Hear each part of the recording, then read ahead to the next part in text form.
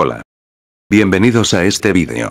Hoy vamos a ver una nueva herramienta para tener en el menú contextual lo que queramos, es lo que sale cuando hacemos clic con el botón derecho de nuestro ratón. No es oficial, pero es de la gente de Microsoft. Gratis, por supuesto. Podemos ir directamente a la tienda oficial de Microsoft que tenemos en nuestro PC.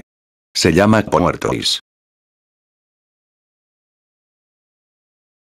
Instalamos. Yo no puedo porque ya la tengo. Abrimos PowerToys.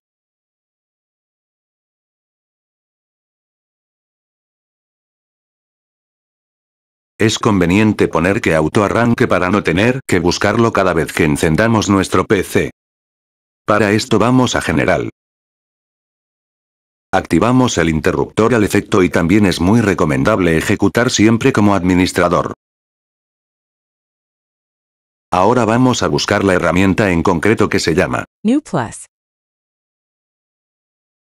Habilitamos. Ya podemos cerrar. Hacemos clic derecho y veremos la opción Nuevo, ahí es donde estará todo lo que agreguemos. Para agregar, abrimos primero las plantillas. Agregamos por ejemplo un Word.